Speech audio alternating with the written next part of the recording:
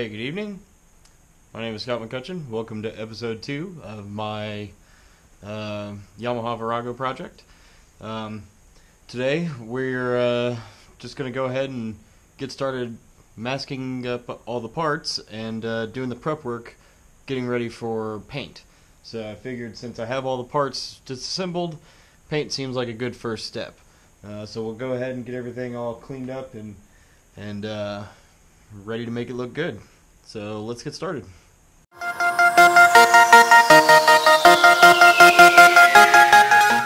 Now that we're prepped, taped up, and ready to paint, uh, you know, we're pretty much ready to paint. So let's go ahead and get started. Um, we're to go move everything over to the uh, um, into the paint booth that I've got set up here. We're going to do this outside so that we're trying not to, um, you know, smoke out my roommates with uh, all the paint fumes. Um, if there is any. I don't know. This will be my first time painting with an actual uh, high pressure, low volume air spray gun. So that'll be kind of cool. I'm used to painting things with just rattle cans. Uh, but let's uh, get everything set up and do the thing.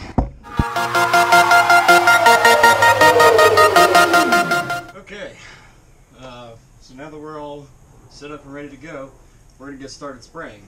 Um, like I said, we're going to be using a high pressure, low volume air spray gun, um, which is this stuff right here. Uh, I uh, just picked this up from Home Depot to do this project. Um, I've always been used to using rattle cans before, uh, but we're not going to do that this time for the Virago. We're going to go all out and try and get a professional quality paint. Um, so for that, we're using uh, this KBS Coatings motor coater. Uh, we're going to be doing everything here uh, is going to end up in gloss black um, from KBS and uh, and then we're gonna do the tank itself in um, flat black, also from KBS. Um, so uh, so I guess we'll go ahead and get started. This video will be good for. Uh, I'm gonna pop this off the frame. Um, right. So this video should be good for uh, um, anyone who uh, has never done this before because I've never done this before. So we're going to go through and kind of check out exactly how this works, um, how to put one of these guns together, how to clean it uh, when we're done, and how to get a good spray for it. All right, so uh, let's get started. Um, all right, so this is a a, uh, a, gun set that I literally just picked up from uh, from Home Depot. Um, you know, so it's all brand new. Um, so we're going to go ahead and go through and, uh, you know, check out how this is going to be put together, how it's going to get used, um, and all that, all that good stuff. So as you can see, it comes with um, comes with some cleaning tools, uh, so we can clean it up when we're ready. Um, a couple little nozzles. Um, one thing I don't like about the case is that when we put these on, they're going to be hard to put back in because there's no cutout for those nozzles, so that's annoying, but thanks Home Depot. Uh, either way, so one of these guns is your um, high pressure, low volume. I think that's the standard one. Um,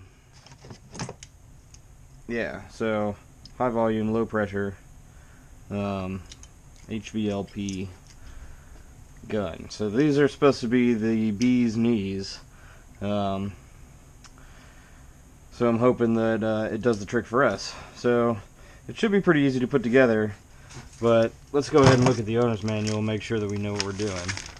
Um, since that's important to do, right? Uh, specifically, I'm looking for the controls, right? Here we go. Um, Okay, so this would be your pattern knob. That's going to go from elliptical paint to more like dotted paint or a you know fine spray. Um, this is your fluid knob control. I assume that dumps more or less uh, paint through the gun. and then your air knob control allowing more or less air pressure into it. Okay, pretty simple. Nothing, uh, nothing too far out of the ordinary. It looks like you can um, turn this cap, you know, uh, different directions to, um, you know, to get different uh, patterns of paint. Um, but it looks like we're going to want something like that, you know, that's evened out down the gun so that when we're going left to right, right, gives us a pretty good elliptical uh, pattern, spray pattern is what we want. And there's some instructions on cleaning it up, but we'll get to that when we're ready. Um, okay, so looks pretty simple, right? Um, the idea being that you pop this piece off and your tank and your tank would just kind of pop on right there.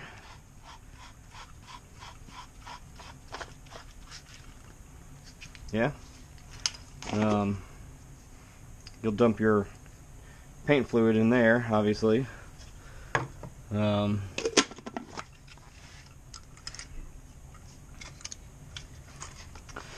So this kit comes with it, so we're going to go ahead and use it. May as well, right? Um, this good stuff. This would be your generic Teflon tape, thread seal kind of tape. Um,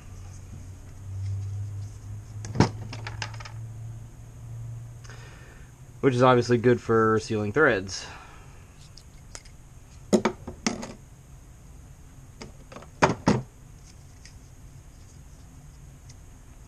Assuming you can assuming you tear it correctly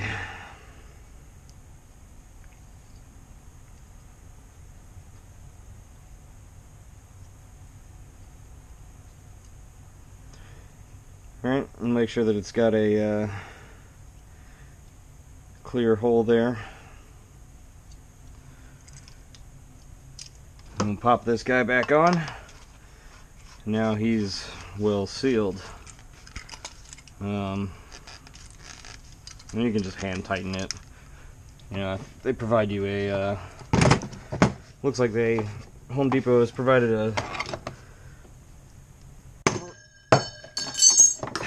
a wrench of some sort, um, to do all this with. Maybe.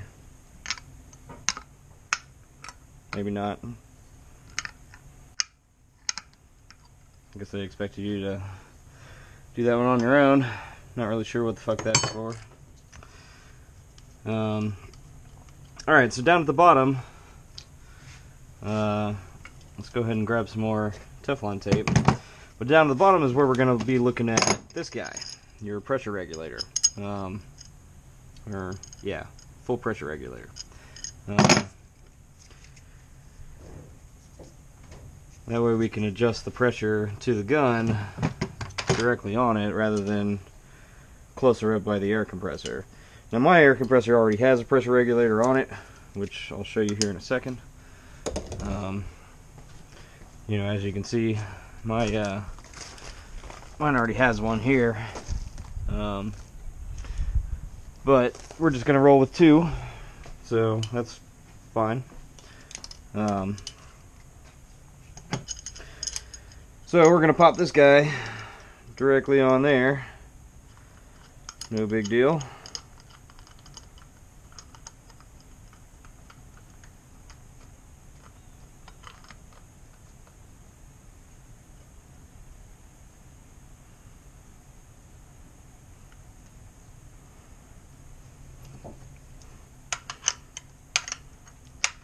Yeah, right? So they did provide a wrench of sorts. Um,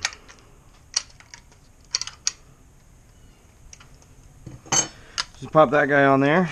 So now you're going to have a uh, pressure gauge and a knob here that can, uh, you know, more more accurately adjust your pressure um, than this one here, I assume. so of course, you know, the kit doesn't say anything about that. I have no idea what the fuck these are. Um, no clue. Oh, that's probably this.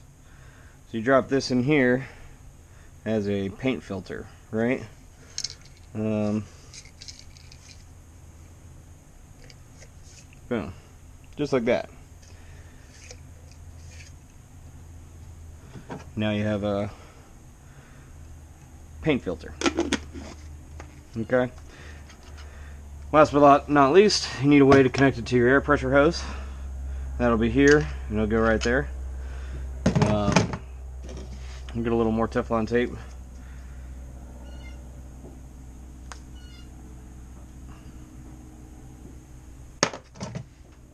For the end of this guy.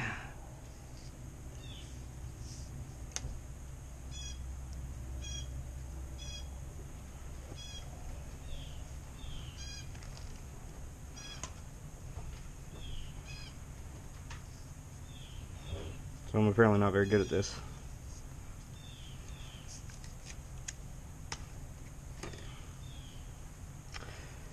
And there we go. Alright, so your air inlet. Unlock this guy on there. And we'll be all set. Um,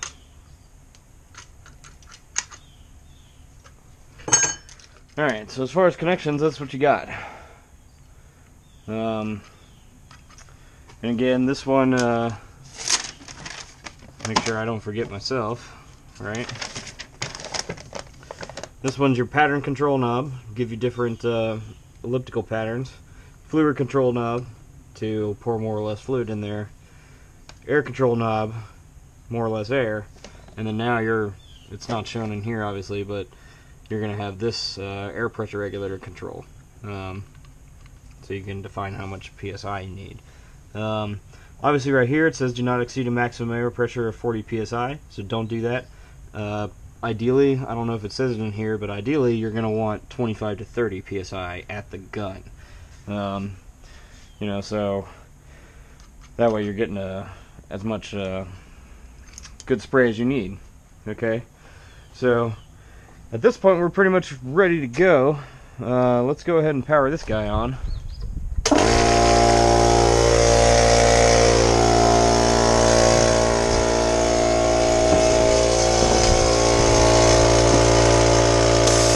Alright, so air compressor is ready to go.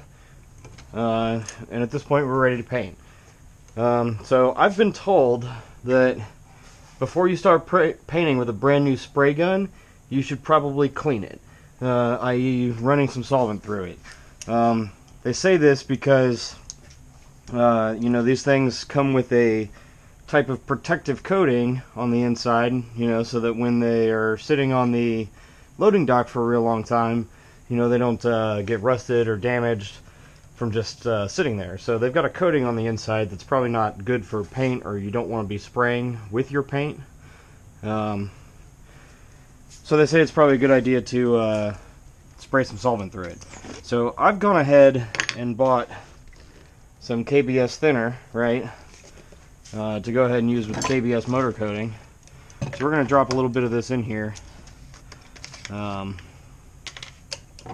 and I don't think we need a lot. Uh,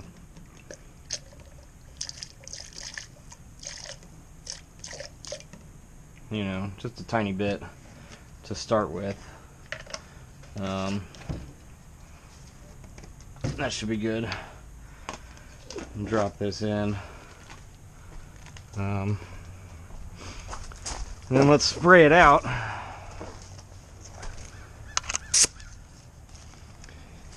And here you can see we have up to 100 psi. Um,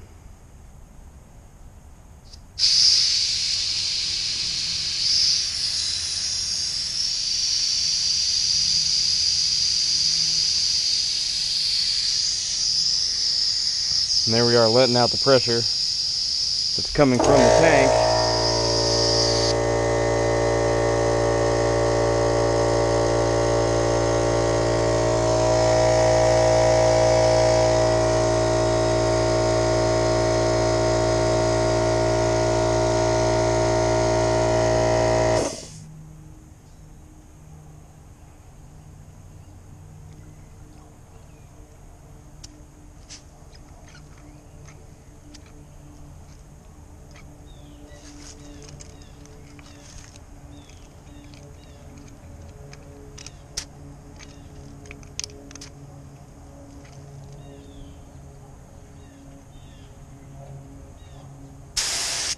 There we go. Right. So we got 100 psi there at the uh, at the gun. I was wrong. You must not want 30 or 40. I don't know how you would even get it down there. Um, either way, there's your spray. And obviously that's the uh, uh, the paint thinner going through it.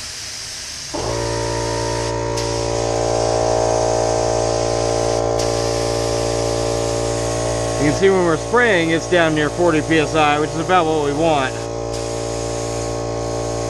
And then there's how, okay, so there's how you would turn it down. So we don't want it while it's spraying to be over 40 psi. We want it somewhere like there, 35 psi.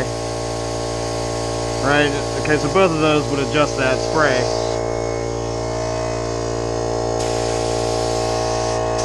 That looks pretty good to me.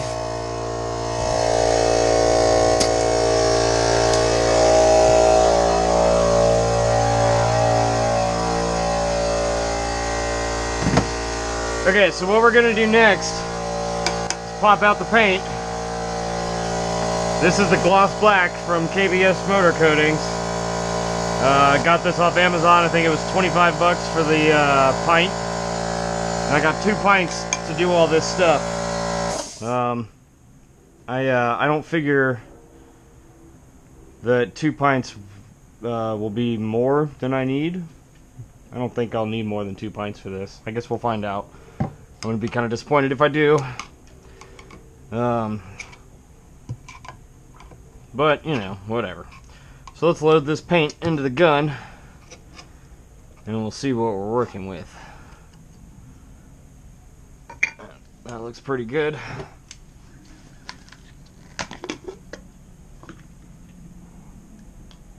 So I'm just gonna go ahead and just fill it up. I figure I'm going to use all this paint today, at least one pint. Um, so I've got the other pint ready to go. But, uh, we'll use it if we need it.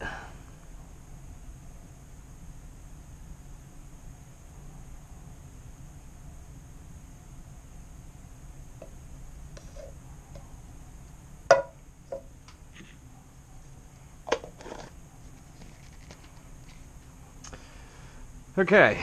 Um, hold on to that real quick.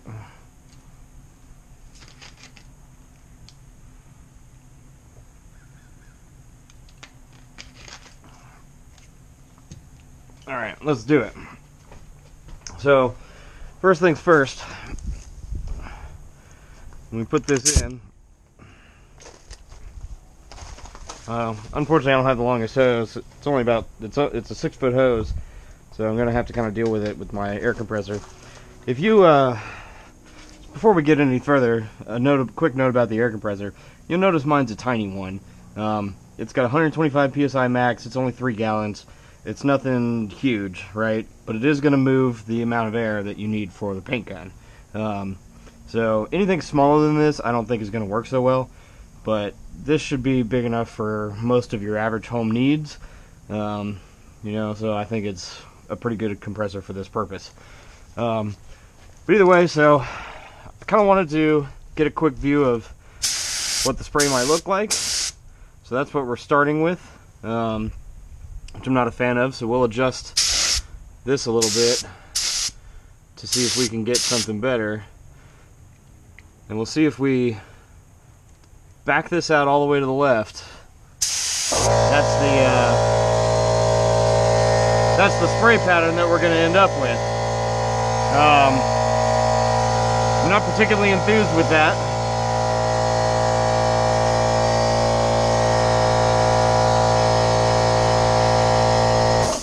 Uh, so we're going to turn the nozzle here 90 degrees so that we get a more up and down spray. Right? Like that. Um, and then we're going to back this in a bit so that we get a more solid spray, something like that, right? Um, I don't want it quite as circular, so we're going to back it out just a little bit more. and get that. Right? So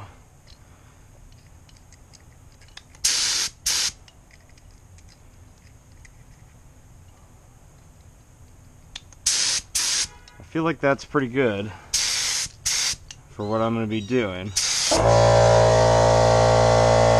That should just about cover it. Um,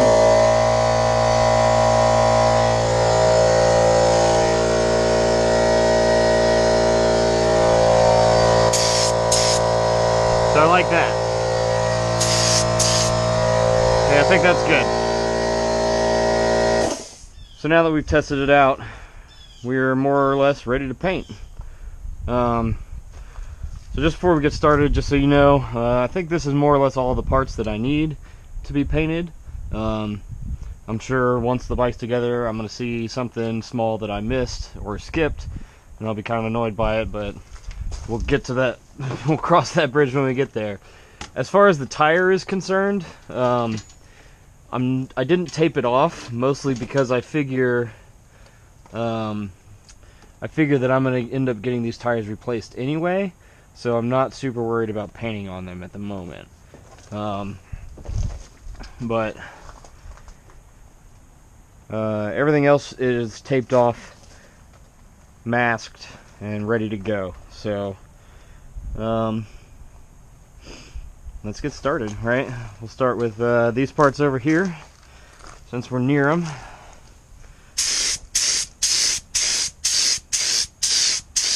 And you want to do just quick motions back and forth, similar to as if you were spraying with a spray can.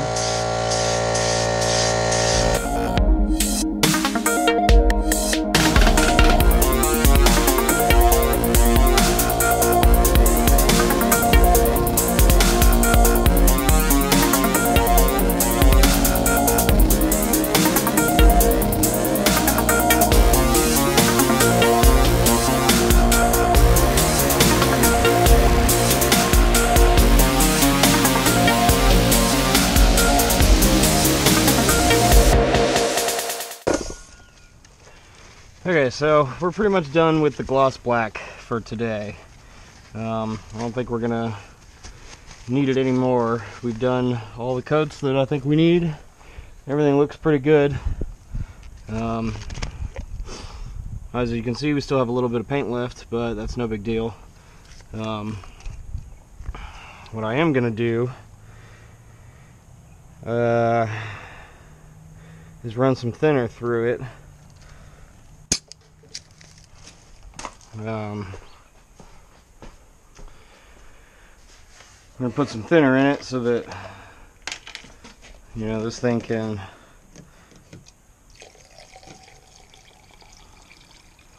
clean itself up, sort of.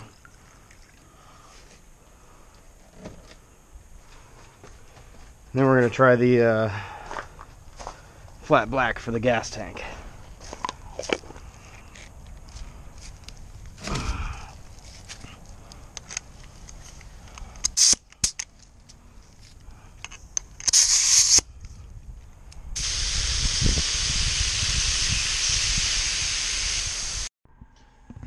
Right, so we've used all the gloss black, um, and now we're going to go ahead and use the flat black. Same stuff, KBS Motor Coater, just in flat black.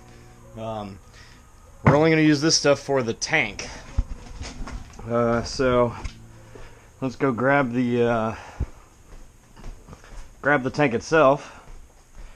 As you can see, I've already sanded it down, pulled the gas cap off, and uh, you know more or less gotten it ready to go.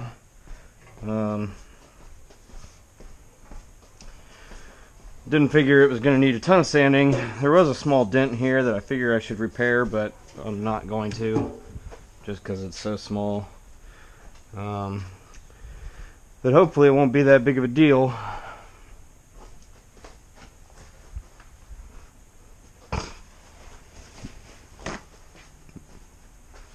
And in part because I don't have any Bondo. Um, So.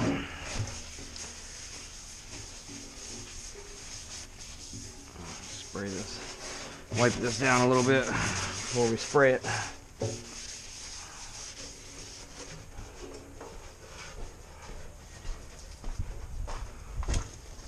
Boom.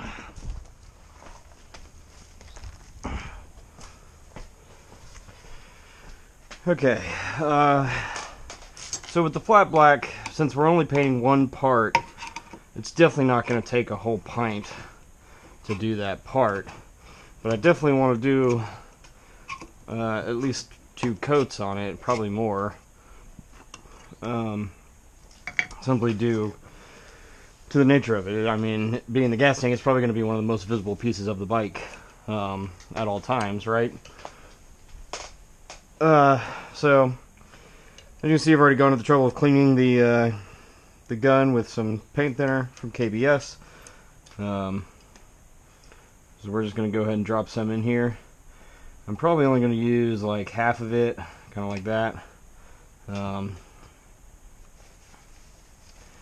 you know, mostly because I don't think I'm going to need, uh, I don't think I'm going to need the whole thing. I don't know what I did with the uh, cap. Um, what did I do with the cap? There it is.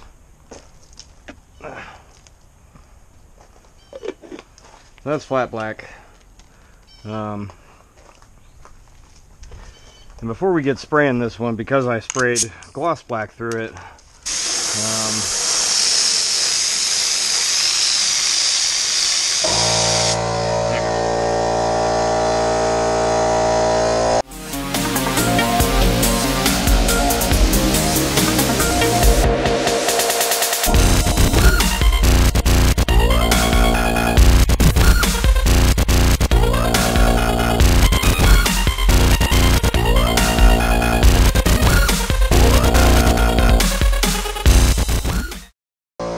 Okay, so let's go ahead and show you how to clean the gun.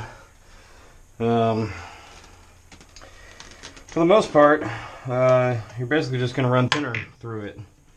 Nothing special, out of the ordinary. Just dump some thinner into the gun. Let it kind of soak up the whatever paint's left over in there. Um, and then, for the most part, you're just going to dump it out.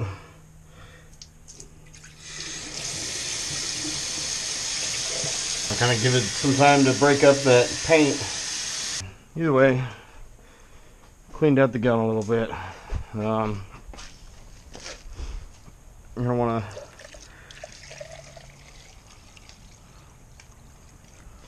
fill her up.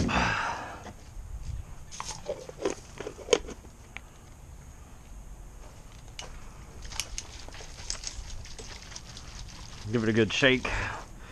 Help clean up that uh, barrel.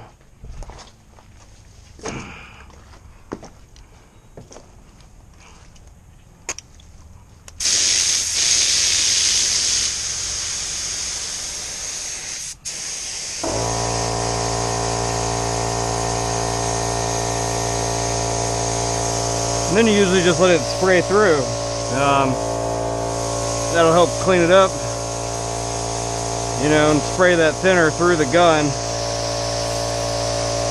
so that everything gets, uh, you know, all the lines and everything get cleaned up.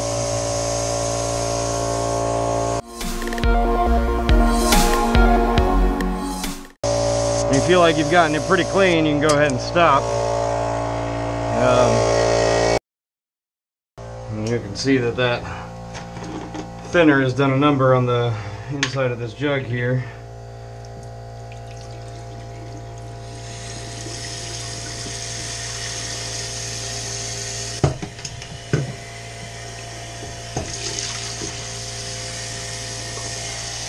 Now at this point you'll want to go ahead and uh, take the jug off the gun. Yeah, so you can wash it a little bit better. Um, it doesn't have to be perfectly clean, but you do want to get it clean to the point where, you know, it's not going to be gross to reuse, you are going to want to reuse this at some point. Um, the filter itself, I think you could probably throw away. You don't need to re, you know you don't need to keep the filters. Um, now the gun itself, cleaning this this guy up becomes a little bit different. Um, if you don't have a parts washer, it, with a parts washer you could just you know dump the gun you know wherever you need to in your parts washer uh, and uh, get it all cleaned up, right? But here, since I don't have a part washer, um, what I'm gonna do is just fill up the sink a little bit with it.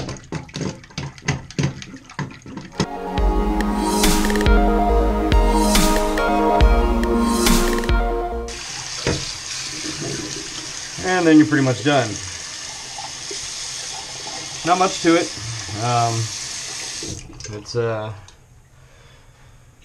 pretty great. Uh, pretty great tool. I'm happy with this. Um,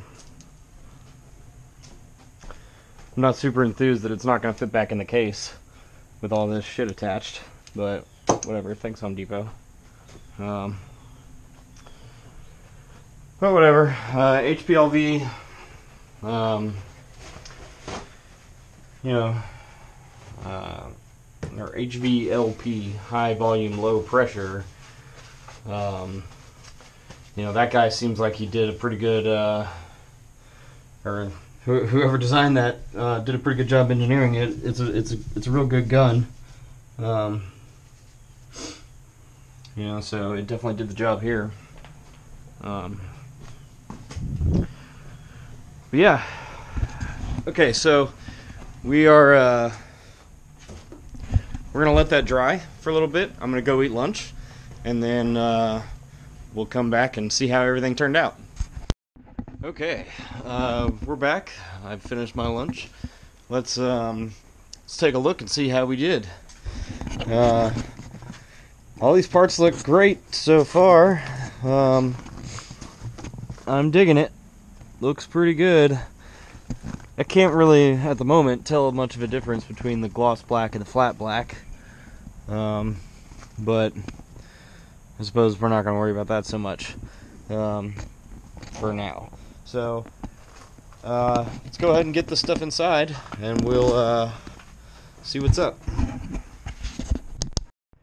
Okay, so uh, so now that we're all cleaned up uh, and everything's back inside, let's go ahead and take a look at the parts and see how we did. Um, hopefully this uh, gives you some, still gives you some good light. I uh, I feel like that turned out real well. The the motor here, um, you know, we can start popping these off, right? You know, so that's gonna look pretty good. I'm not gonna go do the rest for now. I'm gonna leave it alone. Um, but that looks pretty good. Uh, the tank turned out pretty good too. Um, not too shabby. Uh, I had a little spot here where some water hit it while it was trying to dry. And that didn't turn out great, so I might have to do something about that. Um, but otherwise, sharp. Not too bad. Um, you know, the frame turned out turned out real nice. Uh, can still read the VIN, so that's good. Um, that turned out real good. All these bits and pieces turned out great. All black, black, black, black. So, all in all, everything everything worked real well. Um, the only problem I experienced uh, was when I was cleaning the gun. I uh, I totally trashed this gauge, right? So inside the kit, Home Depot has these uh, air pressure regulators, um, a pair of them, and that's fine and dandy. They're actually real nice. Uh, you know, right right up until the point um, that I got paint thinner on it, and while I was cleaning it, I guess I should have taken taken it off before I cleaned it, but um, you know the paint thinner got on the dial or the face of this, uh, you know, the gauge and totally wrecked it. So it ate through that plastic. Uh, so be careful with that. if you get one of those kits. Um, but altogether, it was pretty good. I uh, I think it turned out real great. Um, so so I think I think it's going to work out real well. I'm pretty happy with how all the parts uh, came together. Um, you know, every, everything looks great. Gloss black, flat black, tank. Um, you know, all that stuff is real good. So pretty happy with that. Thanks for watching. Uh, I know this was a long one. I'm to try and uh, cut it down, but you know, this was uh, how we get started on this Virago project. So. Um, as we uh, go forward to the next episode, episode three is going to be uh, basically putting the frame back onto the motor. Or really, well, episode three is going to be about getting the carburetors and stuff back on the motor, and then the frame back on it, and then we're going to go ahead and get the forks put in. So that'll be episode three, putting the forks back together. And you can see over here, I've already picked up the uh, the forks itself. So these came from a, uh, I want to say 2016, maybe uh, well, 2008 to 2016, that generation. I'm not sure exactly what year it came off of, but these came off the like a 2008 GSXR, or not a GSXR. I'm sorry, Yamaha YZF R6. So that's the front clip from a from an R6. See, I got the handles and stuff over here, um, and then this is the rear shock uh, from the R6 as well. So we're gonna try and fit this guy into the back of that Virago. Um, there's the front triple tree. Uh, so luckily I got the key from the R6 too, so that'll be nice because I was missing the key from this Virago. Um, yeah, so uh, right, so that'll be uh, that'll be that. Um, I guess uh, that pretty much does it for now. Thanks again for watching, and um, we'll catch up with you next time. Have a good one.